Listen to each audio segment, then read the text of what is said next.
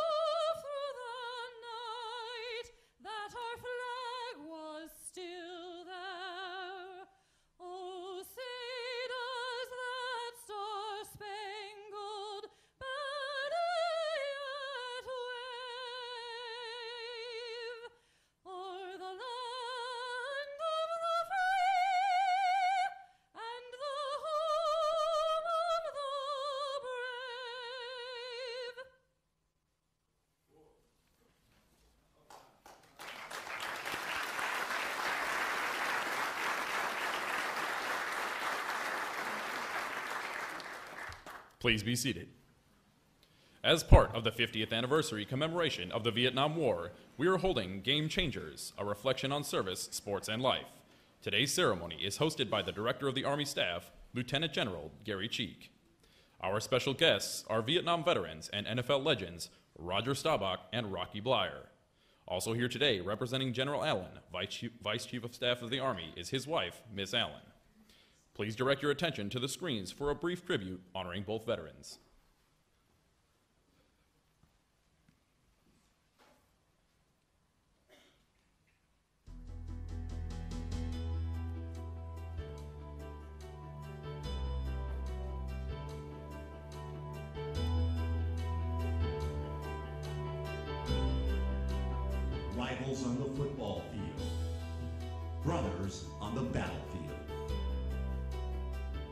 Staubach, the humble kid from Cincinnati, had a legendary career at Navy. Winning the Heisman as a junior, he was drafted by the Dallas Cowboys. But football would wait. He volunteered for Vietnam, arriving in country in 1966. He served in Da Nang and then Chu Lai, quarterbacking a 120 member team. The team handled ammunition and supplies for U.S. Marines fighting in South Vietnam. When his service was complete in 1969, the 27 year old reported for his rookie season with the Cowboys. He quarterbacked America's team for a decade, never had a losing season. The Cowboys played in five Super Bowls, and Captain America commanded four of them. In fourth quarters, when his team was down, he was at his peak. 23 times the father of the Hail Mary engineered comeback victories. He was inducted into the Pro Football Hall of Fame in 1985, the first year he was eligible. There are two ways to measure a winner. How he performs his job and, more importantly, how he performs as a human being. Roger Staubach is an all-pro in both categories. But if there is a Hall of Fame for people, they better save a spot for him there too. Number 20, Rocky Bleier. Rocky Bleier was a standout at Notre Dame, a member of the 1966 national championship team, and captain in 1967. In 1968, he was drafted twice, first by the Pittsburgh Steelers, then by the United States Army for combat duty in Vietnam. On a rescue mission, he was hit by a bullet and then a grenade. Told by doctors he couldn't play again, Rocky Bleier had a different mission in mind. He fought back, returned to the Steelers, and went on to play in 150 regular season games and four Super Bowls. We live in a country where we make role models, surrogate parents in many cases, of athletic heroes. And very few of them deserve that kind of adulation. But this is an authentic American hero. Number 20, Pittsburgh Steelers. Oh, sure, Franco Harris was great, but without the blocking of Rocky Bleier, Harris was nothing. And the whole damn team knew it. Today, Roger Staubach and Rocky Bleier come together, not as rivals, but as comrades, to say thank you to our Vietnam veterans and those now serving.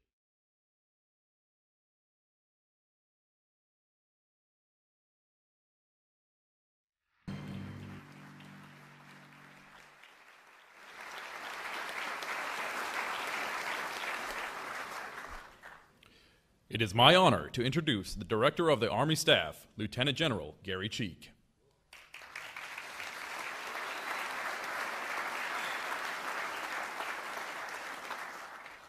Uh, Of course, I'm happy to give out autographs before, during, and after the uh, ceremony. Uh, But mine are on uh, memorandums of reprimand, so you might want to stay away from me, so I don't know. Uh, Not many good things come to the Director of the Army Staff, but this, this is a good thing. So, hey, good afternoon to everyone. Standing room only, that's as I would have expected. Uh, And it is, it is great to see everybody here, and thank you for many of you taking time out of your very busy schedules to spend some time with us. Um, It's been about 40 years since the epic Super Bowl battles between the Steelers and the Cowboys. And for Roger Staubach and Rocky Bleier, you gave us such great memories. Um, it's great to see a Cowboy and a Steeler together. But let's just say this is a little bit of a friendlier gathering than maybe those were. And uh, what a great tribute in the video. Uh, really well done by the G4 and our, and our uh, video folks for putting that together. Great tribute by both Tom Landry and also Howard Cosell, both of whom served in World War II with the United States Army. Uh, Tom Landry with the Air Corps, which was ours back then. Uh, we spun that off as a, cost saving measure. And, uh, and, and, and also uh, Mr. Cosell, of course, with the Army. Now, you may not have noticed one of the little clips in there had a picture of Roger Staubach lighting an Olympic flame. And I would, I would mention that because I happened to be there in 2009 at the very first Warrior Games. We asked Roger to come do that, and he did. And both he and Rocky Bleier was there as well and spoke at the closing ceremonies of that. So they are certainly no strangers to, uh, to our, our service members across the various services. And that one particular point in time, very special to me and very thankful for, uh, for all that they've done. Um, today, uh, we have soldiers, sailors, airmen, Marines, all here from about every war uh, since, the, since World War II. We're joined by some of our more senior civilians and children of Vietnam veterans, to include Debbie Allen here, whose uh, father served in Vietnam. And we want to thank all of you uh, for coming. You know, our memories of the Vietnam War started about 50 years ago, and they're really quite different than the experience that our soldiers today uh, have received. You know, we sent our soldiers, our troops, to Vietnam to perform a duty that many, many Americans did not support, and many Americans did not honor them when they returned. They returned home to criticism and scorn, and many continue to deal with the challenges that, uh, that came from that. But it is remarkable how our country has changed.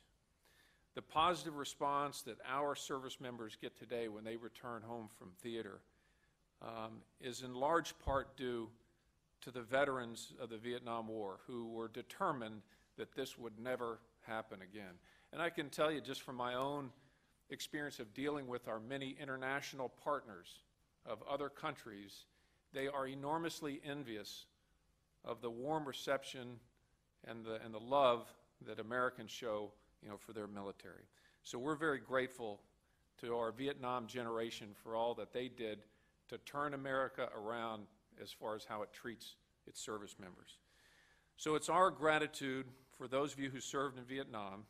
Um, it may be that our tribute today is 50 years too late, but it is a sincere tribute. This year, uh, almost 9,000 commemorative partners across the country are holding events like this in parks, businesses, schools to honor Vietnam veterans and their families. And we also want to remember the 58,220 Americans who gave their lives in Vietnam, including Bob Kalsu of the Buffalo Bills and Don Steinbrunner of the Cleveland Browns. Today, we're joined by two great leaders, and we would ask them to reflect on their service, sports, and their life, and to help us honor the millions who serve with them. So let's all be inspired to see veterans, past, present, and future, with a new, renewed perspective. And to our Vietnam veterans especially, I want to say, welcome home. Thank you.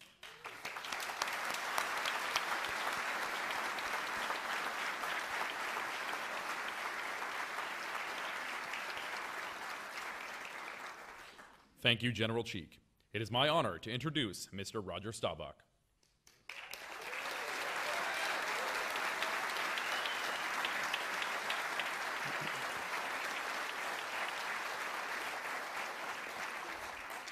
Well, it's a, it's a uh, real honor to be here, and thank you, General Cheek. And it's uh, kind of rough being with the Steeler, though. You know, it's it's almost like hanging out with the Taliban or something. You know, that would, yeah. No, no, just uh, no. They they were th- 35 to 31. Uh, Super Bowl 13, that was the that, was a tough one. And the biggest play of the game was right before the half. It was 14 to 14. We were making a comeback, and Rocky Bleier cut a touchdown pass in the end zone that to me was the biggest play in the game because it made it 21 to 14, and we and we lost 35 to 31. So um, it was a uh, they were a great football team. Uh, I think the arguably probably one of the best, maybe the best football team that uh, came together. They, they, had a fantastic uh, defense led by Jack Lambert and a fantastic offense uh, led by Terry Bradshaw and Rocky and Franco and oh man, it makes me sick saying all this, but it, uh, you, you got you got to admire though. Uh, we I've always said we lost to the best team that's ever played in the National Football League, so. It, it's, uh, it's, it's an honor being here. I was only a lieutenant in the Navy, so I know that uh, being honored here has, has a lot to do with, uh, with, with my football career. And, um, and it was really kind of amazing because, you know, the Redskins weren't our favorite team or anything, you know. So, so, so to be in Washington, D.C., uh, but the first office, I, when I started my real estate firm, um, which I had for 30 years, our first office outside of Dallas was Washington, D.C. I'm thinking, oh, we're in trouble here, but it, it, it, it, it turned out really well. So I, I um, look at it also in, in the service. I, I, was, I was partially colorblind, and and so when I graduated, I knew that I was I couldn't fly, I couldn't uh, go Navy line, and I, I, probably could have been wavered into the Marine Corps. And uh, the Marines, uh, uh w- when you were at the Naval Academy, you knew you wanted to be a Marine when you were a plebe. So I, I, I admired the Marines. a lot of my teammates were Marines, and uh, but I stuck to the Navy, and I went into uh, I went into uh, the Supply Corps. I was a, a Navy officer, went through uh, uh, training as a supply officer, and then uh, asked to go to Vietnam to feel I, I wanted to do something uh, to give back. And I, I, wasn't out on the battlefield, but I was out supporting. Uh, I was with the Naval Support Group in Da Nang, and we had a responsibility. Then I, I, went down, I was there for six months, and I went to Chu Lai for six months used to go, go a lot to Quang Ngai and down to Saigon. And uh, so I was moving around logistically. And the I Corps area at that time of South Vietnam was occupied by the Marines. That was 66 and 67. The Army was coming in when I was, when I was uh, leaving. But I, I, really supported the Marines. Uh, was a Navy, Navy officer supporting the Marines. Uh, they, some of the Marines that we, we went through uh, training together. I had, to, I, I, had to go through all the training to go over there, and I was uh, went to you know POW camp at Whidbey Island and I was the only one to escape, by the way, uh, from that camp. Uh, I don't like to talk about that to some, but but the the the uh, so I, I I've come to really love the Marine Corps. Uh, I, I love all the military, but the Marines uh, I, I, I saw them in action. Uh, some of my teammates were Marines that, that were shot and killed over there in Vietnam. So, but all of our military that fought in, in Vietnam, it, it was, we were asked to do it. It wasn't a popular war. And as General Cheek said, it, was, it really was a, a shame how our Vietnam veterans were tr- treated. By the time I left the service, I went to Pensacola Naval Air Station, finished up, joined the Cowboys in 1969 in that in, and my own teammates were giving me a hard time. They're a bunch of friggin' draft dodgers, you know. So I'm in there arguing uh, about, uh, and so the, the the the the good news today is that we really care about our military. Uh, you know, I, I- mentioned this earlier today. I was I was at the airport in Dallas not that long ago, and uh, and some military uh, men and women were there. About seven of them there in, in their fatigues, and and uh, I guess they somebody happened to recognize me. Now they, you know, when you get old like this, they, God, I've seen you somewhere before. Who? Uh, I've been Frank Gifford. I've been. Uh, uh, I, I've been a lot of different people, so, uh, uh, and I go along with it. So, but but but, but anyway, one, one, of them uh, uh, remembered, you know, you know, remembered me. So I went over. I was talking to him, and a, woman came over and gave gave the guy two one hundred dollar bills and said, "Hey, take your take your uh, your your your your other uh, military uh, people to, to lunch." And uh, and he, you know, he tried to give the money back, but you know, she she wouldn't take it. And then he, he just said to me, he said, "You know, it's it, it's uh, it's nice that you know that we're, we're going to have lunch." She gave me the money, but it really that's not the issue. The issue is that that they care about us, and um, hearing that time and time again, how important it is. And, and we're a volunteer service in a very unstable world today, and, and our military is, are are extremely important to ourselves, our kids, our grandkids. Actually, I've got two great grandchildren. Don't look like it, do I? But, I've been uh, married 50 years, so it's uh, we. Our oldest daughter has given a student grandsons. One, he's one, two, and one. Uh, we got 15 kids. I was an only child, so uh, it's uh, five children, 15 kids, and two great grandchildren. Uh, that, that's, that's a lot of human beings that, uh, that want to be in a, in a, in a great country, in a, in a great world, and, uh, and they also want to be protected. And uh, the men and women in our armed services and what, what they do for us, it's, uh, it, it, it, is, it is appreciated today more than ever, but it can't be appreciated too much for what uh, the commitments, the sacrifices that you make to uh, protect our families. And uh, I've been proud to be part of that fraternity. I was uh, only in the service for four years before I joined the Cowboys. And uh, I'm still very involved with the Naval Academy. I'm on the foundation board there. And uh, I, I, I really feel proud to be a fraternity brother in, in the services. Even though I'm not a retired service, I still feel that I've been accepted uh, for my service. And uh, I'm very proud of my service, and I am uh, even more proud, more proud of our uh, military and what they do for us today. And it's a real honor to be here. Thank you.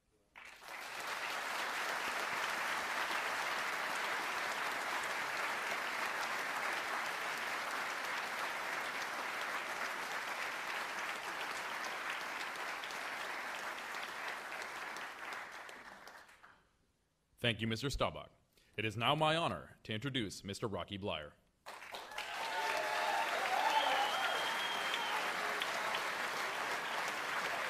Yeah, thank you.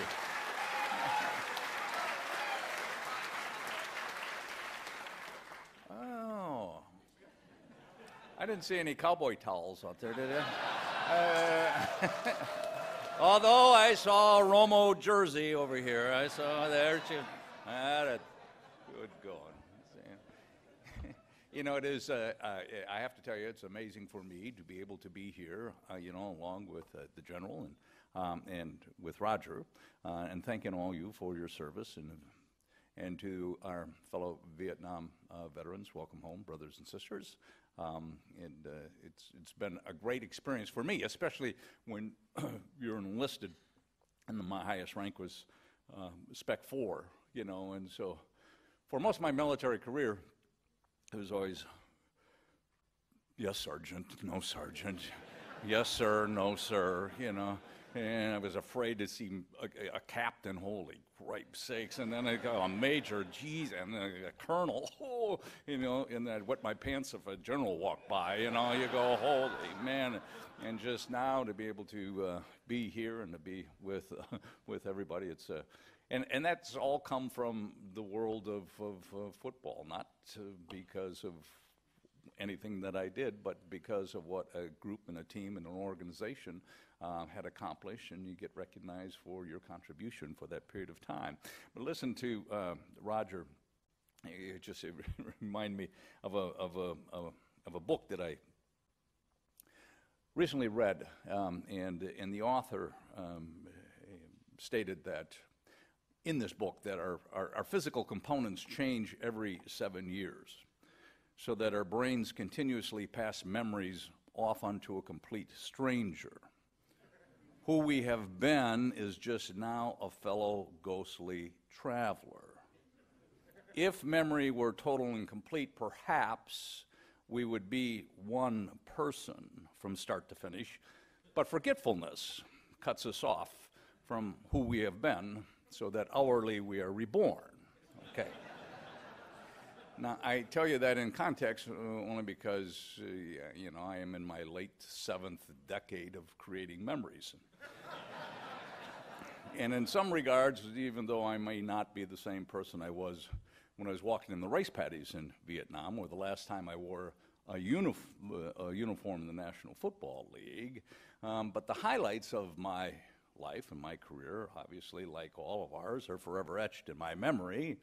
What I've come to learn, it's not that I have forgotten who I am or what had taken place in my life, but, but it's usually an audience that has forgotten who I am and,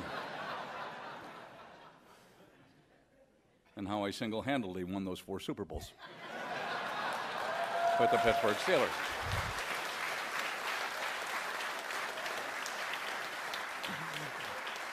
Ah, you know, I mean, Roger and I have been uh, uh, uh, together at times. we've been together at times, you know, over the over the period of, and he keeps bringing up Super Bowl 13. we had the lead before Jackie Smith dropped the ball. No. anyway, you have to understand.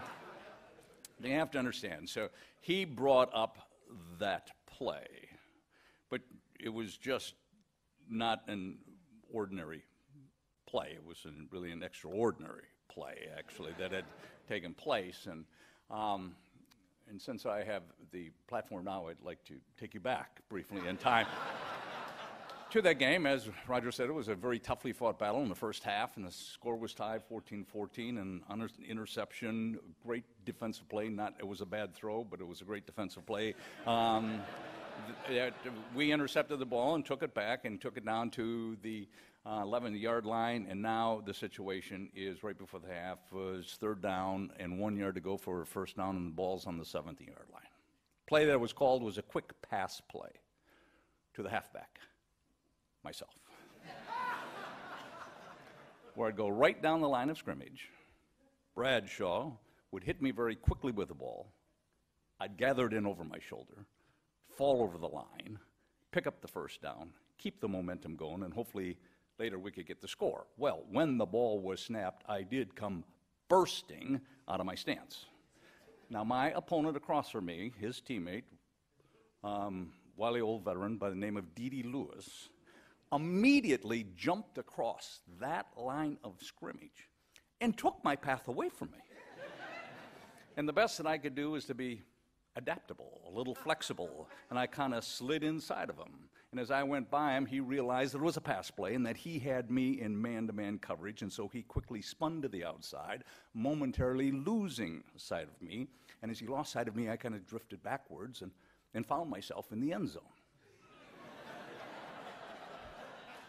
now, in the meantime, Bradshaw was faking to my running mate, Franco Harris, into that line of scrimmage, and when he pulled that ball out, looking for that receiver, myself, down that line of scrimmage. And when he did not spot me, being the smart, intelligent quarterback that we perceived him to be,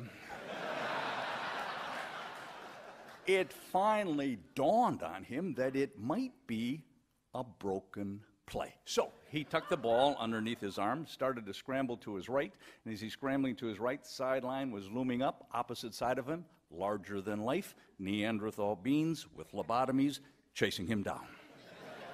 then it happened. Maybe once in a lifetime will you ever experience it.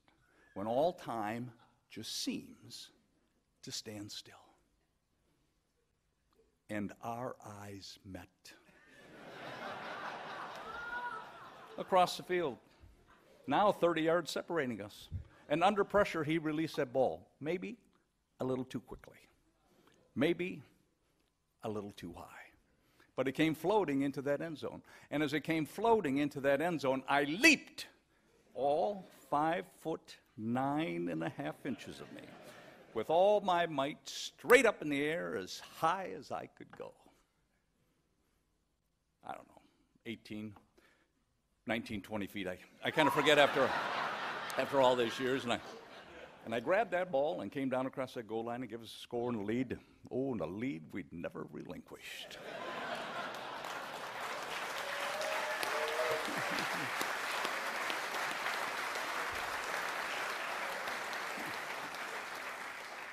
But I usually tie that story in, and I have to tell you, and, and I have to say, I, I, I want that film. I want that film. And it cost me a lot of money. I've never seen that film for Howard Cosell to give that di- dialogue that he did. It did cost me a lot of money for him to say that. I, otherwise, it wouldn't have. But anyway, I went. Now, I usually see use that story because one of the questions that is asked of me more often than not is, um, geez, Rocky, you got four Super Bowl rings. uh, do you change them every day? I mean, how do, you, how do you decide which one to wear? I mean, which one's better than the other one? Which one do you like more than the other one? Well, I have to tell you, in all honesty, it's this one that I wear on my right hand from Super Bowl 13, the second time that we had played the Dallas Cowboys. And, And I tell that story and for a reason why I wear that ring, because it was the best game I played in, one I scored a touchdown in. But it's, it's not the real reason I, I wear this ring. The real reason is because it happens to be the largest and gaudiest of all, all four of them. But, but for me, you have to understand it was a, uh, it was a honor and a privilege to be able to you know, be at the right place, right time, or given an opportunity, you know, as we have in our lives, to uh, be able to take advantage of um, that opportunity that exists to be able to play a game of, of, uh, of, of football. For you see, you know, I got drafted as the as it said um, in 1960 in 1968 um, after about 10 games into the season and found myself in basic training, advanced infantry training, like thousands of other young men during that period of time. Um, and went over to, you know, Vietnam and then got wounded twice um, in, a, in a combat effort that had taken place. And our mission basically was to go back and retrieve bodies that we had left behind. Two days earlier, sister company had been hit. And we uh, were deployed to pull them out of that hot spot. And on our way out that evening, um, we had run into a machine gun nest. And so uh, a firefight had taken place to get ourselves out of there. We had leave the bodies. Now, two days later, we're coming back to be able to retrieve those bodies. It was about 8 o'clock in the morning. We just took a break trying to find our location. Word was settle up and moved out onto an open rice paddy. Keep your eyes and ears open, your heads on a swivel, because we know that the enemy are around. And we walked on an open rice paddy, and all of a sudden, our point man hollered gook gook, and shots broke the stillness, and we started to race down the middle of the rice paddy when a machine gun opened the area. Guys are diving left and right. And my responsibility, because I was a grenadier carrying an M79, was to get firepower on that position.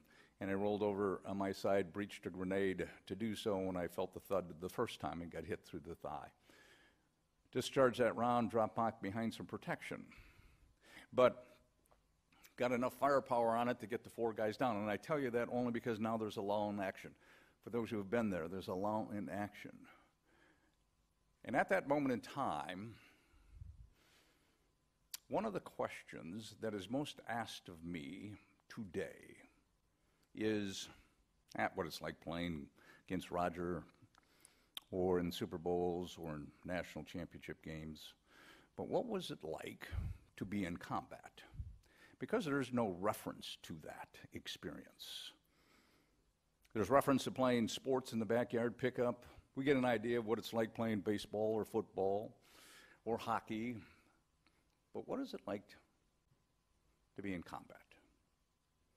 For you see, as we well know, I mean, 1% of our population serves our, in the military. Less than 10% of that finds themselves in a combat situation. So there's really no reference point. Obviously, you think, I, I, I, I, I, think to myself, obviously, those people who asked me those questions never had a Catholic education. and I say that in all honesty. See, I had eight years of Notre Dame nuns and four years of Christian Brothers and four years of Holy Cross priests, so I knew what combat was all about. For you see, there's nothing more fearful than a good sister with a ruler in her hand and righteousness in her eyes looking at you walking down that aisle. But the amazing thing is that what they taught you during that period of time, and I'm not just saying a Catholic education, I'm just saying what they taught you, you know, and they taught you, you know, they taught you your, your and I remember this, they, they taught you your manners, which was um, yes, sister, and no, sister. And then it morphed into yes, mom, no, mom, and yes, dad, no, dad. And then it was yes, father, no, father, and yes, brother, no, brother. You know, yes, sergeant, no, sergeant. Yes, dear, no, dear. so I had a great education through that period of time. But what they also taught you to do is really, they taught you how to pray. And we do that in our lives only because of the fact that, you know, we pray for no tests. we pray for days off. We pray for wins. We pray that we get an A in, the, in our class. We pray that the little redhead might like you someday. And, uh, and then we pray that we come back from war. But sometimes we have to realize what we pray for you know, because we have to live with the atrocities that take place. We have to live with the scars, visible or invisible. We have to live with the trauma. We have to live with what happens at that period of time. But it's a foundation, and it's an experience. And it's really only experience that we who have served in the military understand, um, and it's the lessons that you learn from then that you incorporate into your own life your background, your education, your experiences, and what you bring to your community and what you bring to your families and what you do every day. So, Roger and I aren't any different than any of you. Those lessons we learned on the gridiron as well as in the battlefield are the same ones that we learn every day in our lives, and that's to take care of one another and never leave a comrade behind, and you fight for what is right, and you do what is right. And, uh, and I think that's the biggest message that I ever received from my experience in coming back, because to some degree, you know, I came back in a high profile industry. And so, because of being an underdog, because of being wounded, because of being in combat, I became somewhat of a poster child for the military. And at least for our Vietnam brothers, it was somebody that they could look at and say, hey, he did it. He's one of us. And he became successful. Because it was not much success that was taking place within our lives at that time or recognized for that success because, as we well know, no one recognizes for a contribution to our country. And so until now, and what has taken place and over the last 20 years, and more importantly now is the anniversary, is on its threshold, you know, that we do thank our veterans, all of them, but more importantly to that Vietnam veteran for the sacrifices that they have given and done through those years. So I want to thank all of you for your service. More importantly, again, welcome home, Vietnam veterans. Thank you.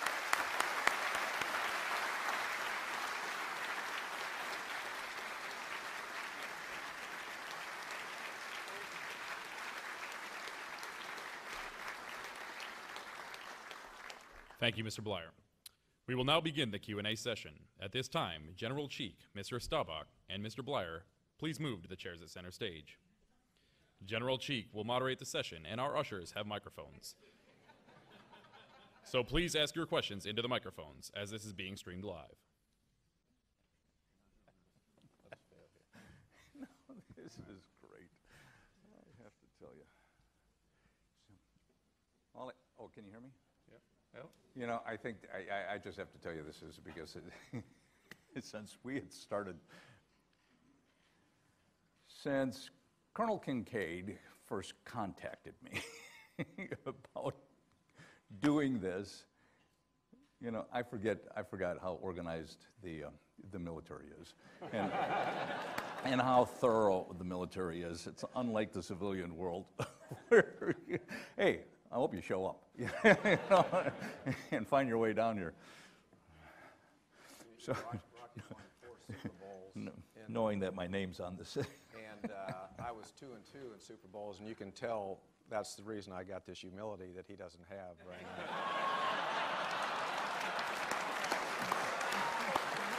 now. well, if you won the other ones, you wouldn't need to be humble.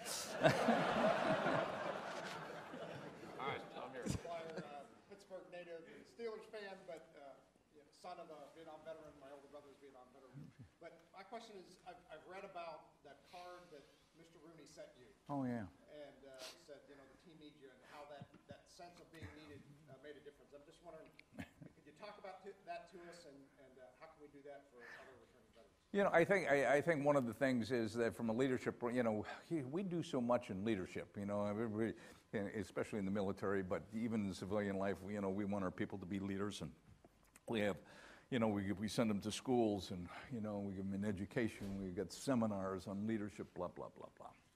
Um, and you know there are certain you know there's certain aspects of which we learn, but I think the one aspect is really a human aspect of how you approach people. And, and I always say that in leadership, you know, is a positive and negative. You know, eh, you, you my definition of leadership is the ability to influence, and I, and I say that because the ability to lead is conveyed by those who who you lead. I give you the power to lead me not because of title or entitlement, but I give you the power. I, as a- as part of a squad or a platoon, give you as my leader that power to lead me. Well, if you don't live up to that responsibility, well, you know, then it, undermines that, that, that whole structure.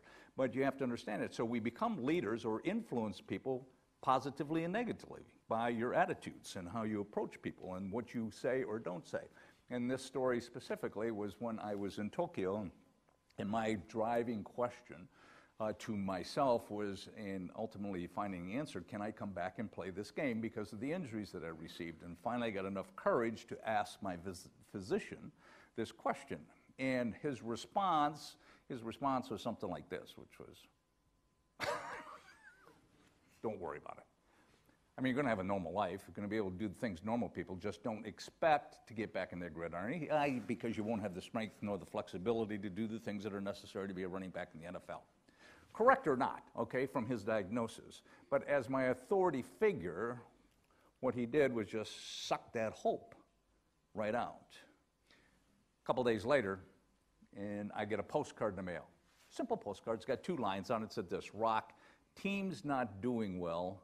We need you. Art Rooney, owner of the team. And you go, wow. Not that they needed me, because they surely didn't need me, but it was that somebody took the time to care, to reach out, to make a contact of some nature. And, you know, and that made all the difference in the world because it gave you that little seed of hope that somebody was there to be able to support you. So that was that kind of a, um, of, rec- of a recognition. And so the rest is, you know, up to you to do what you want, but you just, you know, that for me it was like, oh, okay, somebody cared. I think that becomes very important in what we do. Bleier, uh, Mr. Staubach, uh, more than Mr. Mr. Bleier, um, Steeler fan, and great way of explaining that touchdown. I mean, that was awesome. I, I saw it that way completely. Um, well, I just want to say, uh, from your, from both of your perspectives, the Vietnam soldier to the soldiers of now, what do you see? Any difference? Your thoughts and, and how we've come from the Vietnam uh, to today? Go ahead. I get thoughts, but go ahead, Roger. Well, the, the, my, uh, w- when I was in Vietnam, I, I lost uh, my uh, roommate that was, uh, plebe summer. Mike Rammer was a Marine that was uh, caught and tortured and killed. And Tommy Holden, I was in Da Nang, and Tommy sends a, a message to me. You know, he's out, in the, he's out, he's out, he's a, he's a Marine out there fighting, and he said, "Hey, Staubach, what are you, what are you doing? I'm going to come into Da Nang. You take me to the old Club, you bum." and, and, I, and that's Tommy, you know. And he, he, he was shot like a week later. And I've, uh, so I, I- I just think the military of World War II, of Korea, of Vietnam are just as uh, uh, strong and committed as, as any military person today. The difference is, is our society understands that, that uh, these men and women are out there with their necks on their line for us. So I think there's a is- there's we, we, Vietnam lost that, and the Vietnam veterans that are here have, have helped bring it back. Because right now uh, there's so much so many good things going on. I, I'm not talking about myself, but we have a Admiral Mullen uh, you know, see a goodwill of going from the private sector to the, uh, to the, uh, uh, to, to the veteran to, to be able to, uh, uh, you know, get a job when they leave the service. And our allies in service, we've, we've been averaging a job a day in veterans in Dallas, Fort Worth.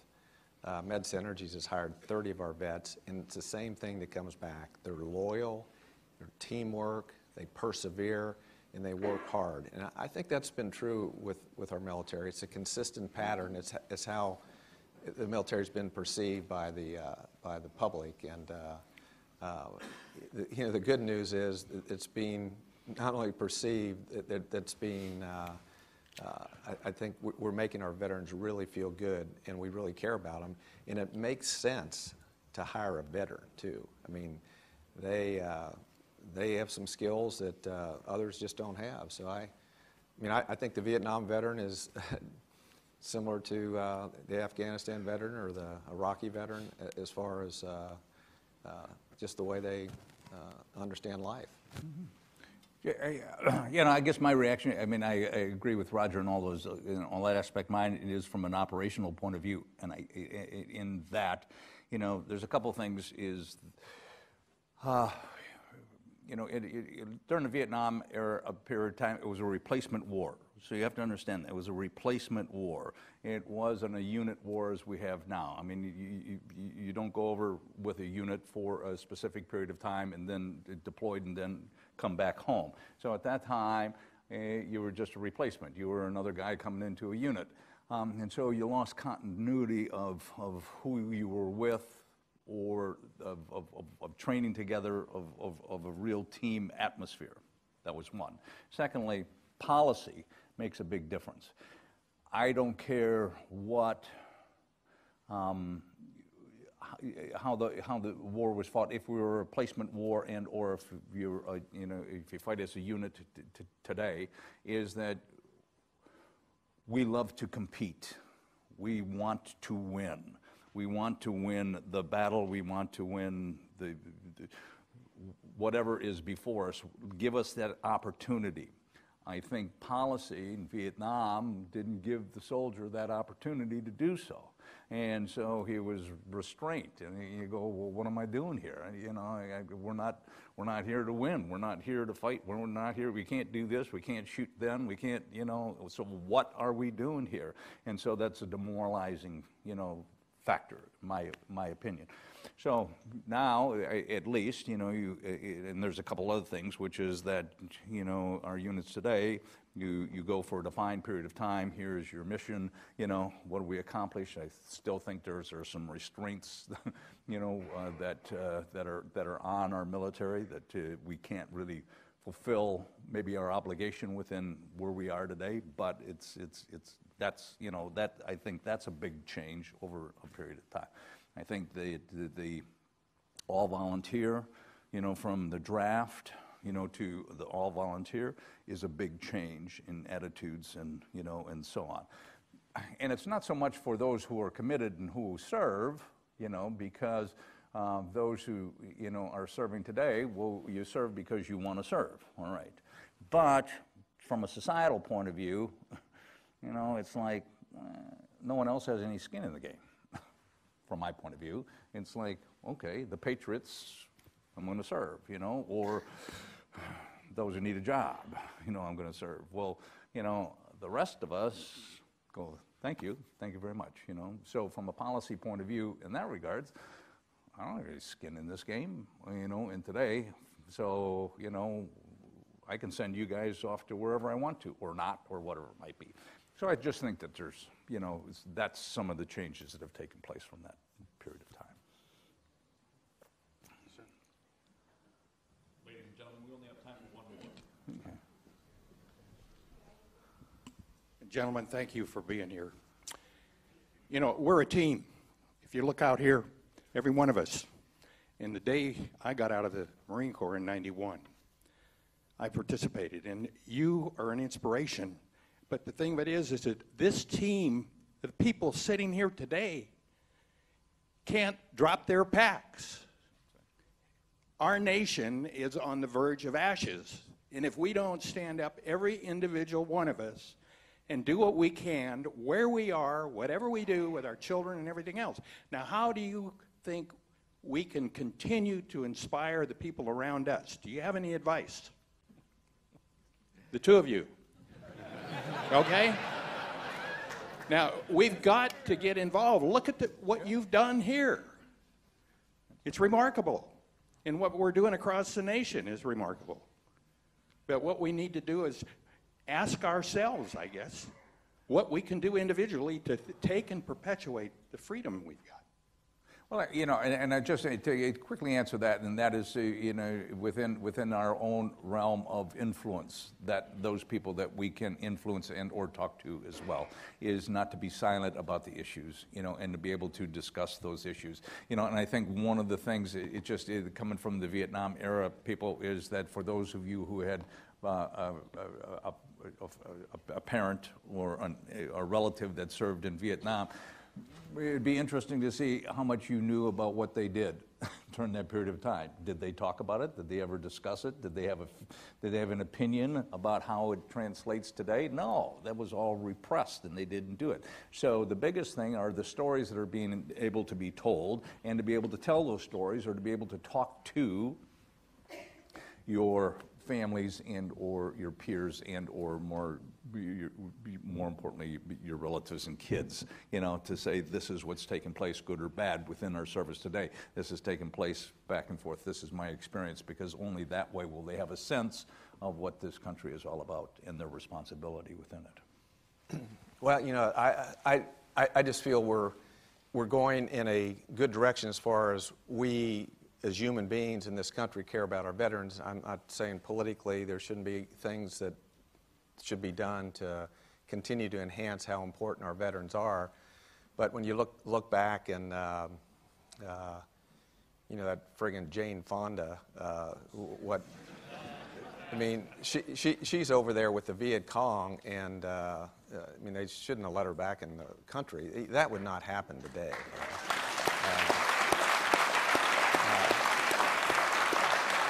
Uh, the, the respect we have for our veterans, you know, 9 11, you have 19 wackos that are, they're all educated too, by the way. The 19 that were on these airplanes, on our four airplanes, and the one that hit the Pentagon. I, actually, I was on the board of American at the time. I just, I got on there six months before 9 11. I didn't want to tell you I was on board of American because you, I know you lost your luggage somewhere and you got, you know. uh, but, but, but it really is uh, uh, the, the, the feeling today towards veterans is, is unbelievably positive. Uh, I'm on, also on the Veterans Advisory Board for J.P. Morgan, and we got over 200 companies, in, including our company, JLL, that are uh, committed to hire veterans. And most of the companies uh, are re- really passionate about it. You know, others, you know, really care about veterans. So the, the, uh, the, the, good news is, um, and what's, with, what's going on now between the Sunnis and the Shia and, the, and uh, you know, ISIS, uh, you know, it's kind of, you know, being a Sunni, there, you know, you got Iran or Shia, you got now Russia going into Syria. It's, I think it's confusing for our leaders right now what's going on as far as what, what we have to do.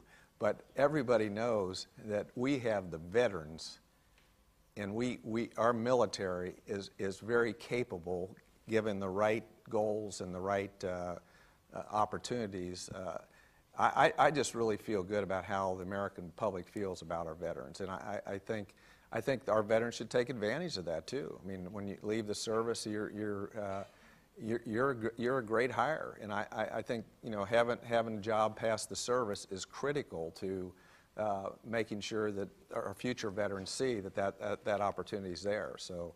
I, I, I, just I feel really good about how, how much we love our veterans today, and I, there's always we, could, we we definitely could always do more, but we're sure headed in the right direction direction about our caring for our veterans.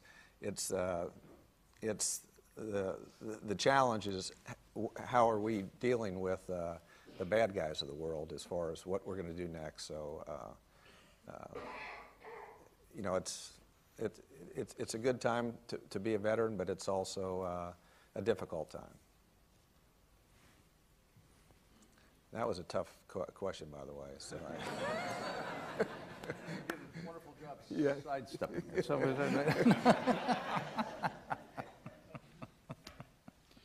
Ladies and gentlemen, a round of applause for our honored guests.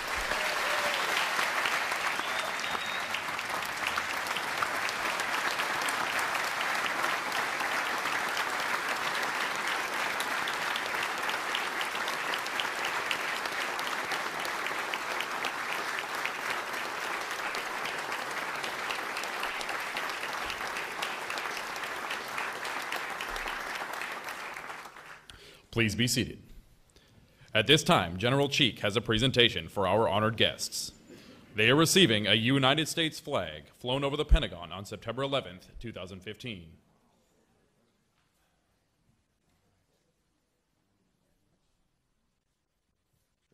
Wrong one here, so. So, uh, on behalf of the United States Army, but also all our other joint partners that are here from the other services, for you, Rocky, we want to present this to you and say thank you. Thank you for your inspirational words, but thank you also for your service and welcome home to you as well.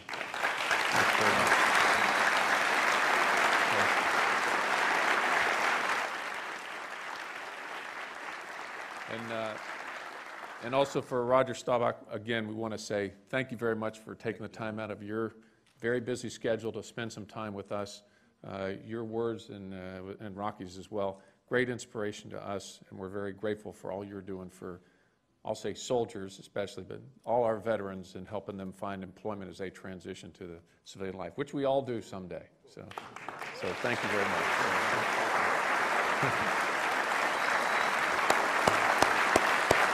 All right, we're we're gonna mail you yours. Okay. conclude our program. Will all Vietnam veterans please step to the front of the room and join General Cheek, Mr. Staubach, and Mr. Bleier for a group photo?